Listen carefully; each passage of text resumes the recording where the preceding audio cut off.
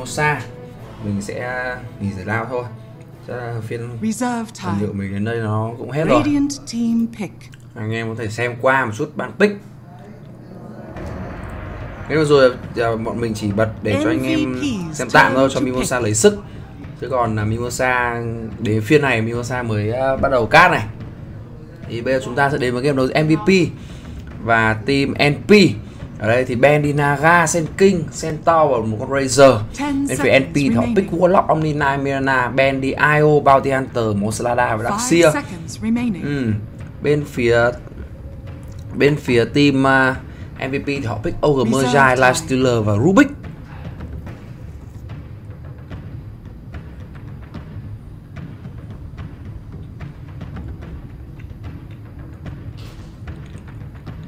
Radiant team pick. Rồi MVP họ pick cho mình một con team so. Trước khi mà Forest về lại MVP thì Velo là người cầm team so khá là hay. Bây giờ Forest về lại thì team so Team so lại được chơi bởi Forest và Velo lại bị đẩy sang đánh carry Mà cái vị trí carry này Velo anh không được sự quen thân quen tí nào cả. Không biết là bên phía MVP họ đánh nhau ở cái game này. Ok, welcome Mimosa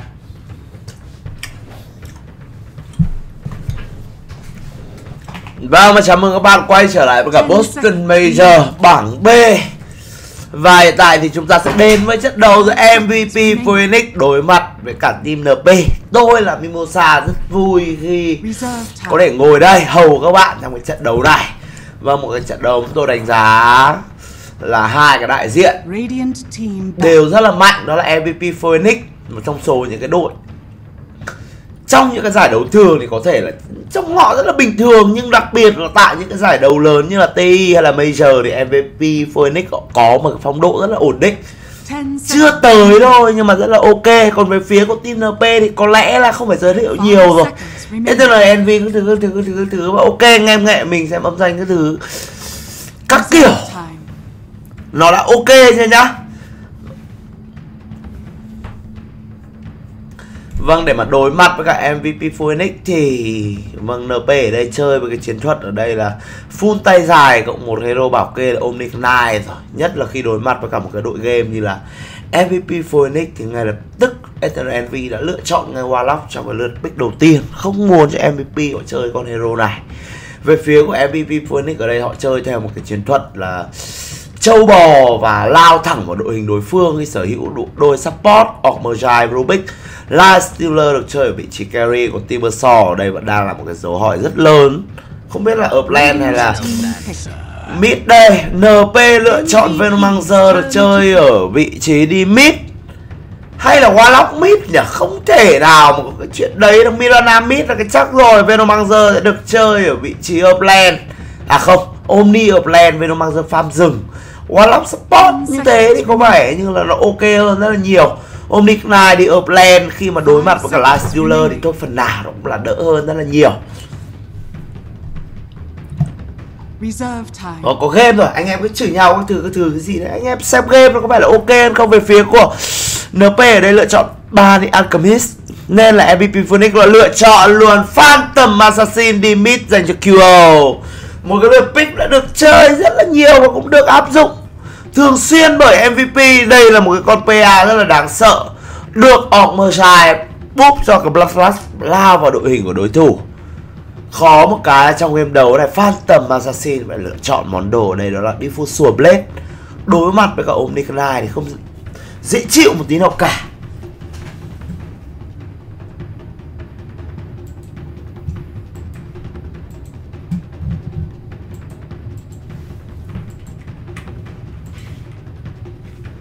Vâng anh em đợi mình một tí nhá Đổi title các kiểu Game đôi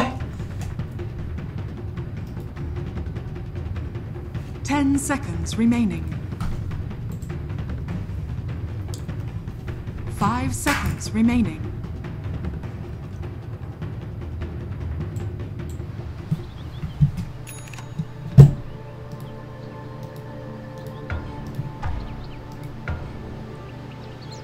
Prepare for battle.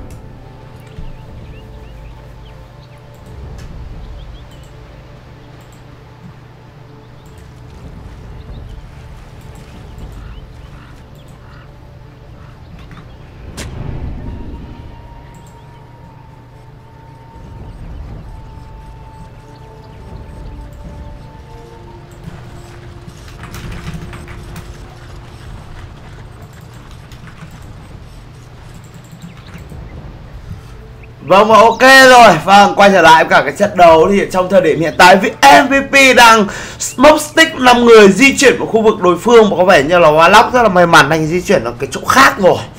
Hãy 30 seconds to battle.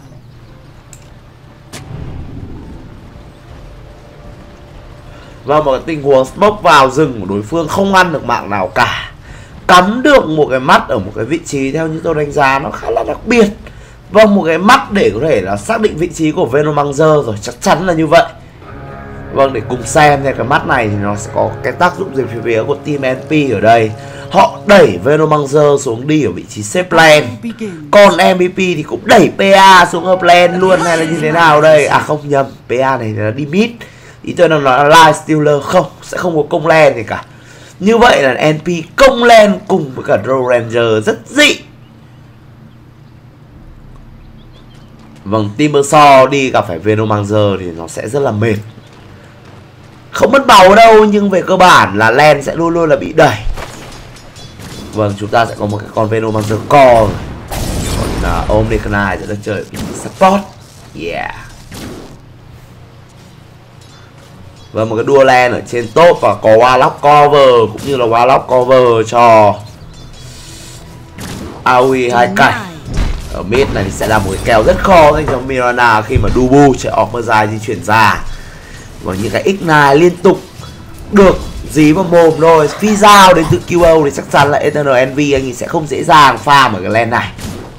Muốn tạo khoảng trống cho con PA nếu như có thể. Vâng đợi tí là thấy nốt cái tài tổ các thứ các thứ ở bên này.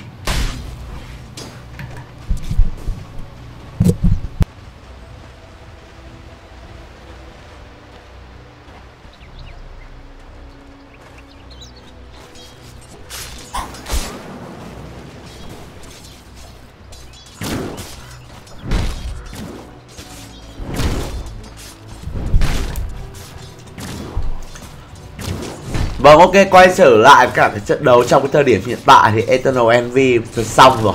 Liên tục là bị con Ormaza này nó quấy rồi nhưng mà rất may mắn. Ui rồi ôi một dao bờ linh vào.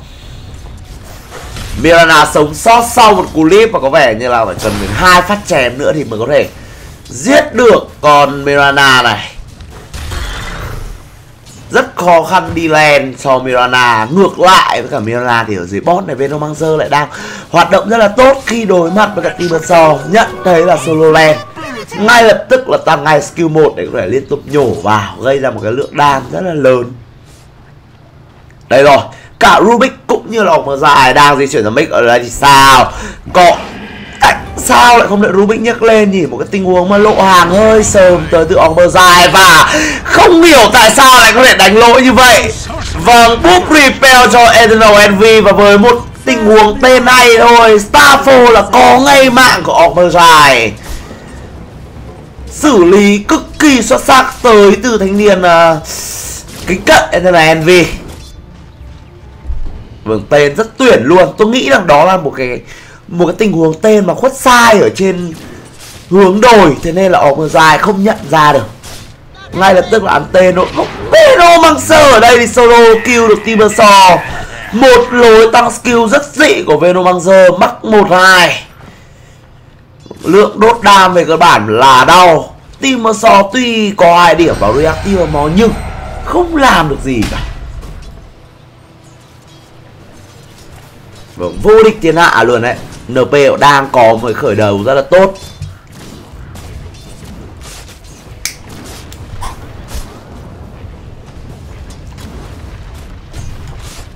Vâng, những cái giây phút đầu tiên để mà đi con Mirana như thế là nó tan vỡ rồi. Ở đây thì có một cái tình huống mà cọ cũng như là cả Rubik di chuyển được rồi. Muốn ăn vào Venomancer và tôi nghĩ là chết chặt rồi. Một lâu hai tới từ vị trí của MS Nhưng đó là stick du tới từ Foray. Ăn ngay mạng.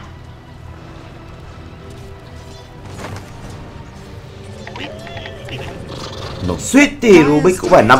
Không phải là suýt nữa mà đó là chết thật luôn. Đi về đến giếng rồi cũng không đỡ được với cái skill gì vậy. Rất là khó có thể giải thích trong cái tình huống vừa rồi. Vâng, tôi cứ nghĩ là Rubik chắc chắn là anh ấy sống rồi. Rất nguy hiểm với cả cái con Venom này.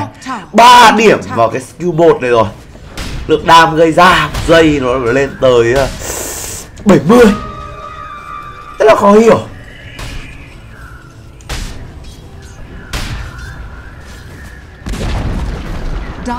top tower has fallen.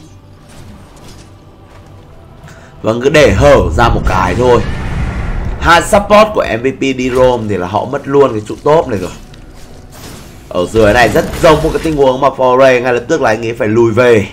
Lại bị dồn đam vào Ui, những cái nước đam bị mất nó xem. Nhưng nhưng u, có ulti tới từ Venom và ở đây thì không chết được rồi. Ormazai dài, Giết được Warlock trong một cái tình huống mà AOE cảnh đang đừng bắn. Có cả Eternal Envy di chuyển lên. Tuy nhiên, Eternal Envy làm cái gì thế này? Tại sao lại leap lên đây? Bỏ mặc đồng đội đuổi cho con Ormazai dài thì rất lâu. Một con hero rất dày. Vâng suy cho cùng thì cũng là giết được rồi. Giết được thôi. Mạng sẽ dành cho Omnic hôn máu.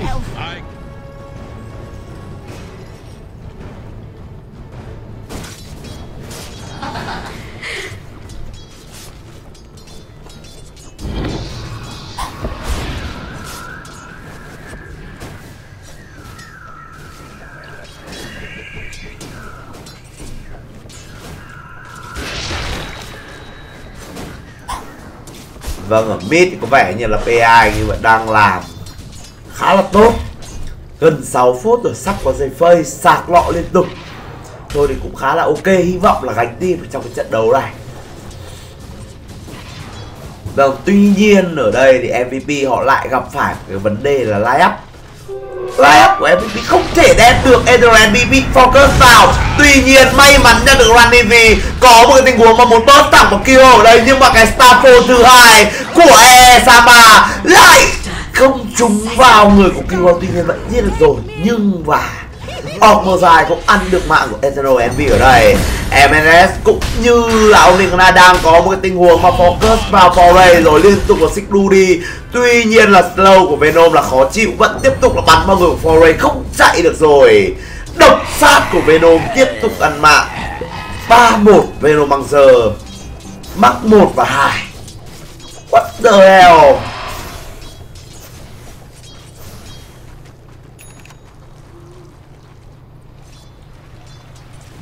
Vâng, đêm hôm is cát là hơi đói tí thôi kìa. Xin phép anh em ăn uh, miếng bánh. Hơi có tiếng chọp chẹp một tí thôi Nhưng mà ở đây thì sao? Orc mơ dài di chuyển lên và phát hiện ra vị trí của AOE hai cành rồi thêm cả Rubik ở đây bé đầu nữa. Nhưng mà Light Stealer đi đường nào đây? Có một cái tình huống mà nhấc được lên rồi slow vào có stun hay không? Không nhưng đó là đẩy lùi lại Pele về tới từ vị trí của Drow đánh rất hay Đúng ra là các cái thành viên của MVP họ chỉ nên focus vào một hướng thôi.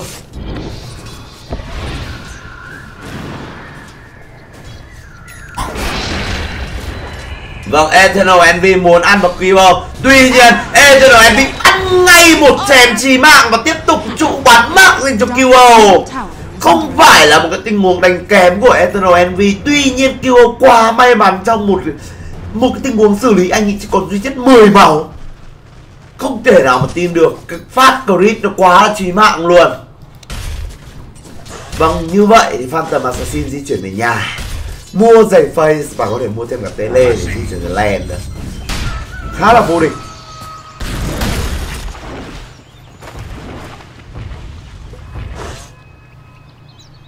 Dyer's bottom tower is under attack.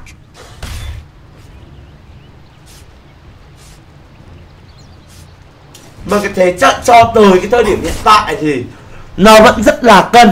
Có thể nói là như vậy. Không thể nào có thể tin nổi. Tôi cứ tưởng là một cái trận đấu một chiều nghiêng về phía của NP rồi.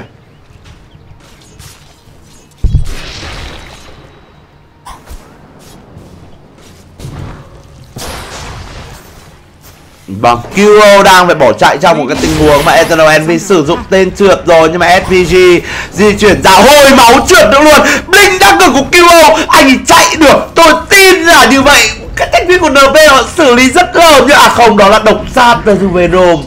Không thở được, con Venom nó vẫn đang tiếp tục thể hiện cái sự bá đạo của mình. Vâng ở trên top này thì cái cặp tam ca của MVP có một cái tình huống mà băng thẳng vào trụ ăn ngay mạng của Warlock vẫn là một đổi một mà thôi. Hiện tại thì Venomancer anh ấy đang có cái network cao nhất trên bản đồ.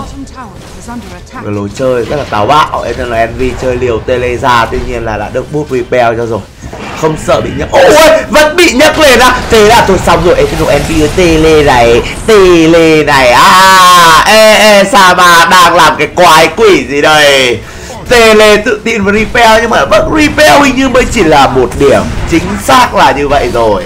Một phong cách thường thấy của Eternal Envy. What the hell? Không có gì để nói nữa luôn. Thực sự luôn.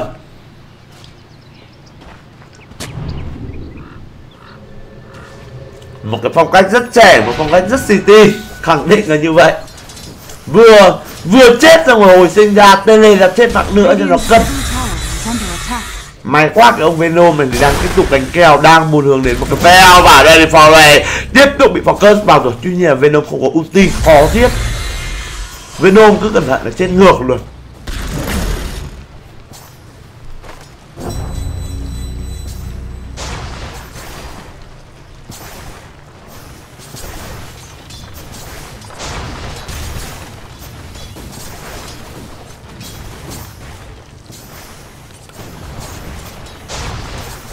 Vâng, hiện tại thì team NP họ đang có ý định muốn push trụ boss của team MVP rồi Cybersaw ở đây là chắc chắn không thể nào mà đủ được. Sử dụng cưa ra để create spam Kéo máu creep. Liệu rằng sẽ có đồng đội di chuyển ra không? Những cái tình huống Harass Monster từ Venomancer vào đây. Foray nhìn cái tốc độ máu tụt của xe Nó không hề yếu một chút nào cả.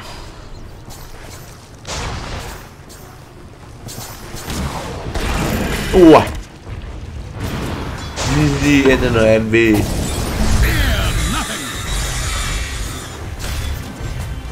Dire's structures are fortified.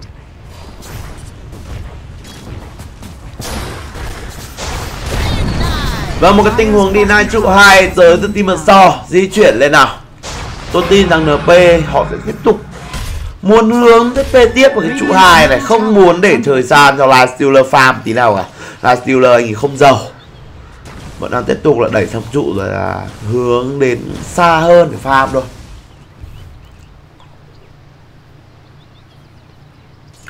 Wow, à không ngoài Hồi phục sức khỏe để cáp pro hơn cho anh em này. Em đợi tôi đến nhắc luôn, xem được thuốc Và mốc ba người tới từ các thành viên của MVP di chuyển khu vực của rừng đối phương Tuy nhiên là nhầm tọa độ rồi middle. Vâng, 12 phút rồi, cái lượng đồ của PA không phải là bé 1.500 tiền, tuy nhiên thì nên để cho con hero này nó đi farm một tí chứ nhỉ? Ờ, Vâng, mà cái tình hình mà đi lang thang như thế này thì nó không ổn một tí nào cả. Đã bảo tele là rồi, focus vào AOE hai cành hay không đây?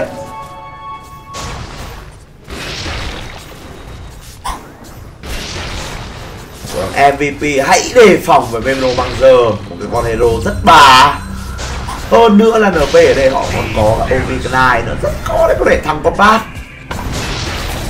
cùng chờ xem là MVP họ sẽ có một cái chiến thuật gì đây Radiant's bottom tower is under attack. Radiant structures are fortified. Healing shock.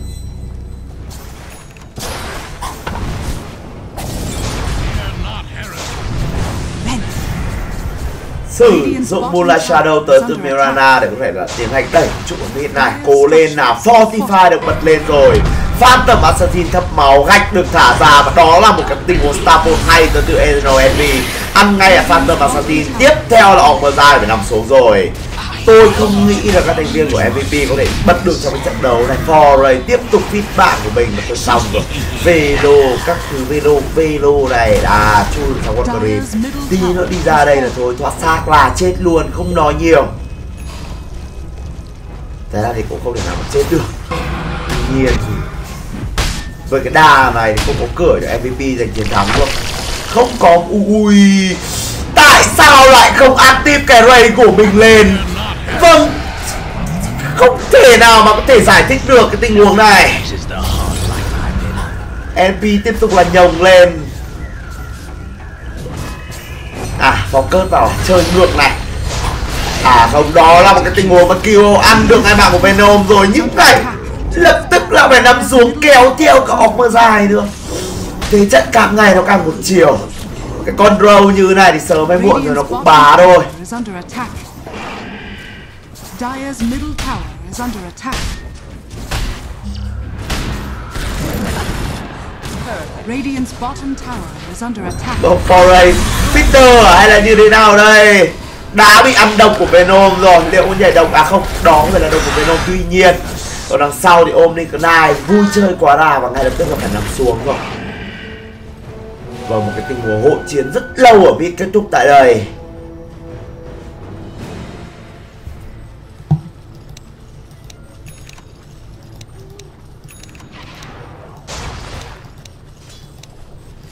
Mười mười bốn mười lăm phút thì con Venom này nó có được cái of Disco lên level 11 nữa thì cái lượng đam độc này nó burst lên theo kiểu kinh khủng luôn. Quá là dã man. Thêm cả Warlock vào nữa thì cái trưởng một của Warlock mà lại còn ulti trưởng một Venom thì nó tạo ra một cái combo đam. Tôi nghĩ là quá khủng khiếp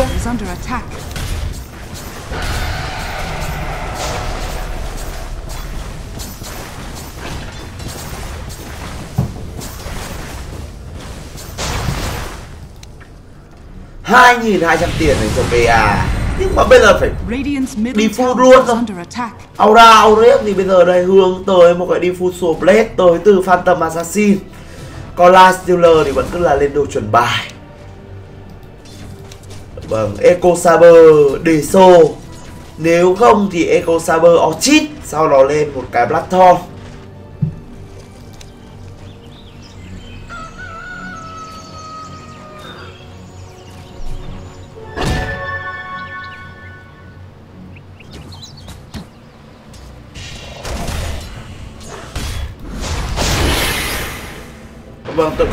sao mà Venom mang rơi thì active ulti trong một cái tình huống có lẽ là muốn burst ra một cái lượng đam cực lớn vào PA đang đứng phạm rừng. Tuy nhiên, một cái tình huống blink vào người đồng đội tele về là đủ để có thể thoát thân trong cái tình huống vậy.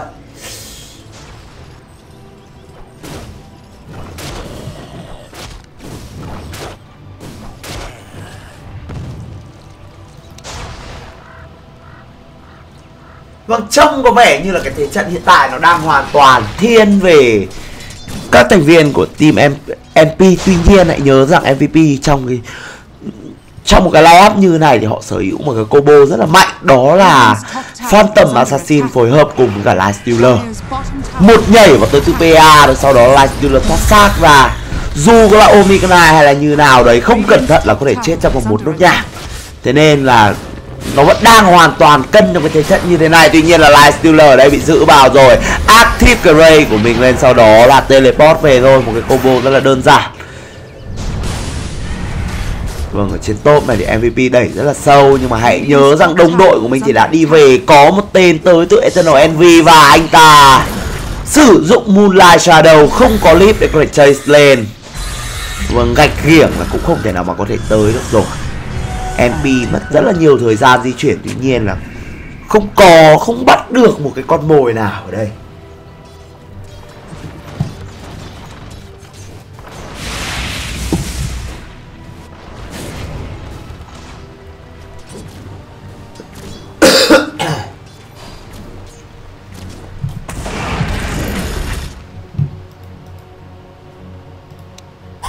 Vâng, ở thời điểm hiện tại thì từ từ đã nào có một cái tình huống mà Kyo active được run hết lên đuổi theo Eternal Envy. Tuy nhiên đồng đội của anh ấy có mặt ở đây để có thể tiến hành cover kịp thời. Vâng, run Envy dành cho Venom Bangzer và tôi xong tôi phép bi bị nhìn thấy và rất giống sẽ bị chết trong một cái tình huống cấp được clip thì chết bằng cái đồi gì đây. Vâng, rất hay cũng như là may mắn tới từ bị chỉ có phép bi. Phù thủy mà lại còn nhảy như hổ nữa thì thôi nó là 10 điểm rồi. Đang nhắc dở tới AoE hai cảnh có được hai bậc Dominator cũng như là một cái Dragon Lance ở đây. P thẳng vào mid và có được level 11 rồi. Lượng đá chắc chà Hãy nhớ rằng phép bi anh ấy có lead tại sao? Vero Bangzer lại sử dụng ulti như vậy. Tuy nhiên rất giống là Rubik bất phải chết trong một cái tình huống mà Đàm độc rất mạnh. Có cả về Disco nữa mà tôi xong rồi cái đàn đổi gì nó đang xảy ra đây? Rubik phải bài bách và NP ăn luôn được cái trụ mid của MVP rồi, không có cơ hội nào cả. Sức mạnh. Vâng đây là chính xác, nó gọi là Âu Dương Phong rồi. Độc sát nội công các thứ, cái lượng đam gây ra mà đến về riêng cũng không thể nào mà đỡ được. Trưởng một này, xong rồi bắn một cái để có được cái poison sting này, sau đó lộ ulti và vẹp discord thua. Bình thường chúng ta xem kiểu venom trong các cái trận đấu khác thì nó chỉ là kiểu dạng đường bôn bẫy thôi. Còn đây thì chính xác nó là ngũ độc rồi. Ngũ độc trưởng, mũ áo, xong rồi ờ, găng tay ở thắt lưng dày hoàng kim ở vũ khí hai kỹ năng, đam rất to. Vâng 2.600 tiền dành cho Venom và vừa nhắc xong thì mua luôn cho mình. Ở đây là một cái gậy đầy. Middle về sau hướng đến một cái. Aghanim Scatter thì tôi cũng không thể nào mà tưởng tượng được cái lượng đam gây ra nó có thể là ác mộng đến mức nào.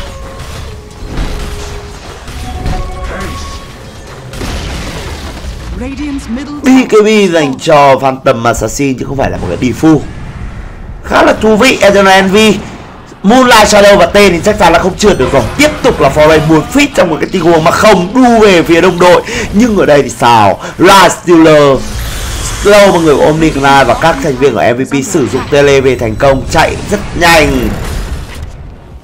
Không ai phải nằm xuống cả, tuy nhiên là à để lại con gà. Có 3.975 tiền cho con gà, tức là BKB của PA sẽ phải delay thêm 3 phút nữa. QO chơi cái trò gì đây? Hãy nhớ là anh ấy chưa cầm BKB ở trong người vừa nói xong thì không thể tin nổi. Vui quá rồi.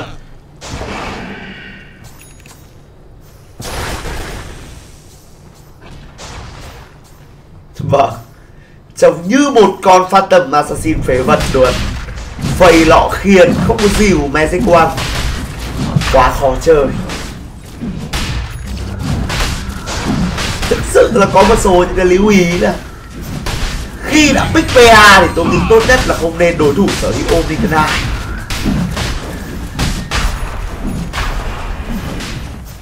Easy dành cho NP và sẽ được cầm bởi Bro Ranger. Và từ một cung thủ thì bây giờ anh ấy tiến hóa thành một cái cỗ xe tăng. Cày nhà thôi, rất là đơn giản. Kỳ phu dành cho Light Stealer rồi. Radiant's top tower is under attack.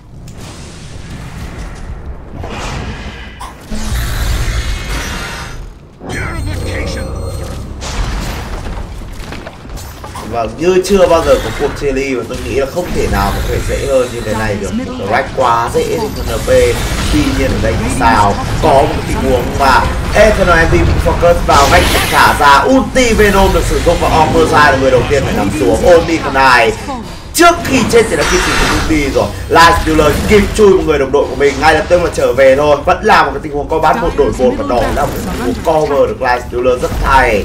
Tuy nhiên vẫn phải trả giá bằng cái rewrite Kế hoạch push của Team MP thành công.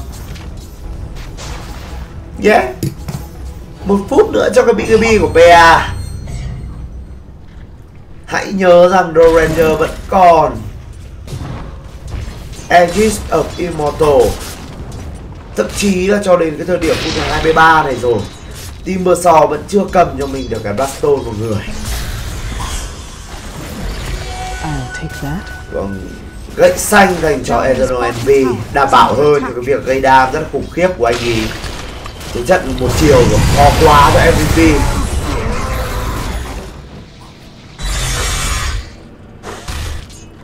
thằng đến nơi rồi mà cái ông Hoa Long này vẫn đóng cho mình một cái Midas ở phút thứ 23 đồng thời là cái Hurricane Pie cho Venomancer rồi.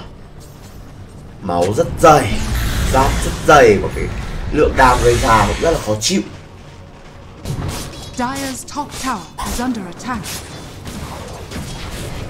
Vâng, chưa việc bắn vào nhưng mà không sao, lùi về thôi. Nhưng hãy đề phòng. Anh ấy mỏng quá, bây giờ thì Drow Làm một cái Silver S hay là sẽ hướng đến một cái đồ đam luôn nhỉ Silver S để có thể là hóa giải cái miss của Phantom Assassin Reactive Armor của Timbersaw À không được reactive là gì nhỉ? à giải được cái chứ là đúng không giải được cái số trang của reactive armor Dyer's bottom tower is under attack. Dyer's structures are fortified. Vâng, với lợi thế Aegis of Immortal thì MVP đang tiến hành phê cái trụ boss này rồi. Ngay lập tức thì tôi xong kill ở bật BKB lên đâu rồi? Vâng, đó là BKB MNS sử dụng một tí chung cho con Timbersaw Tuy nhiên các cái thành viên của NP đang bị đẩy lùi lại. Omnic Knight rất muốn cứu đồng đội của mình. Tuy nhiên AOE 2000 đang gặp một cái trạng thái rất nguy hiểm. À, ở đây là tiêu đâu bị bắn vào nhưng mà hãy cẩn thận. Đang có một cái tình huống nhầm ngược. Tuy nhiên ở đây QO cũng như là Lightstealer hay là Omega đã phải nằm xuống rồi. Tiếp theo đó là Foray. Không đỡ được. Vâng Team White đó là confirm nó tự sát nào. Gần như không có cơ hội nào để mà MVP có thể đỡ lại cả. MP đánh nhau mạnh hơn is bút nhanh hơn. Yeah, no chance. Dyer's bottom tower has fallen. Healing shock.